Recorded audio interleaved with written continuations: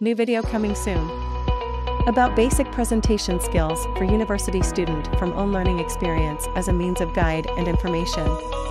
There are many reasons international students struggle to do their presentation at English-speaking universities due to language barriers. I would suggest for intercontinental students in the UK, USA, and Australia essential to participate actively in seminars and tutorials, comprehend advanced lectures, follow tutors' instruction, read advanced logical materials, as well as do more practice for the class presentation. My goal is to empower confidence to individuals with their presentation skills by showing examples of my own learning. These videos are very basic and simple to make it easy to understand for non-English speaking individuals. Thank you so much for watching this video and I wish you all the very best for your future presentation.